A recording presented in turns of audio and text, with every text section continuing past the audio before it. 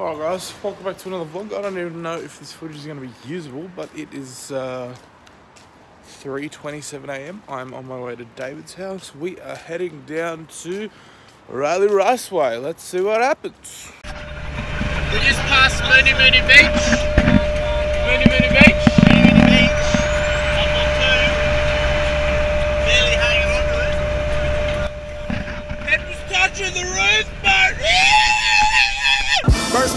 Praise to the Most High. Glorious you you are the ruler, it's in you that my hope lies. Faux guy, no lie, no bite, I don't play both sides. Been so down with the windows down, truth music blowing at the whip so loud you repent when I roll by. Good morning, good afternoon, good night, wherever you guys watching. We're on the way to Raleigh Raceway in Coffs Harbour, the Gold Coast. It's very early in the morning and I haven't had my coffee yet, so you guys have been watching me before, I'm not very good without coffee, so I'm gonna go do that.